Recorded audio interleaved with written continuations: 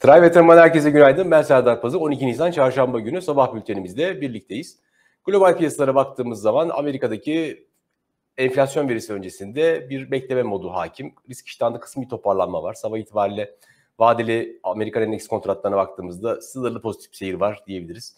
Ama genel itibariyle enflasyon verisi ne gelecek ve o enflasyon verisine göre Fed'in faiz artırım ihtimali artacak mı?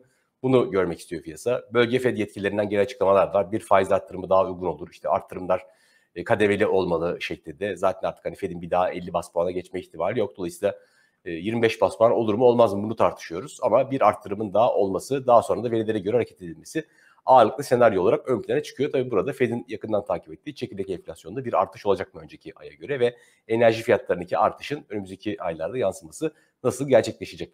İçeride ise Borsa İstanbul 5100 seviyesinin üzerinde bir kapanış gerçekleştirmeyi başardı. Yani yükseliş devam ediyor diyebiliriz. İğme kaybetmekle beraber. Yani önceki gün %3 üzerinde yükseliş yoktu dün piyasada bakıldığında ama kazanımların kısmen korunduğu kapanışa doğru bir kar realizasyonunun gelmemesi yine sevindirici olarak adlandırılabilir.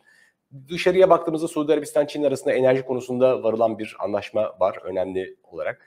Ee, gene basına yansıyan Pegasus'un CEO'sunun yaptığı uzun uçuşlarda bir saati geçen uçuşlarda bir taban fiyat tavan fiyat olmamalı bu karlılığı oldukça düşürüyor şeklindeki açıklamalar e, yakından takip edildi. Dolar kuru bakıldığında haftaya 19.20'lerden başlamıştı. Şimdi 19.30'lara gelmiş durumda. Yani hemen hemen her gün 1-2 kuruş bir hareket görüyoruz. Ve kapalı çarşı ile aradaki makasında yine açık seyrettiğini %2'nin üzerinde olduğunu bu noktada belirtebiliriz.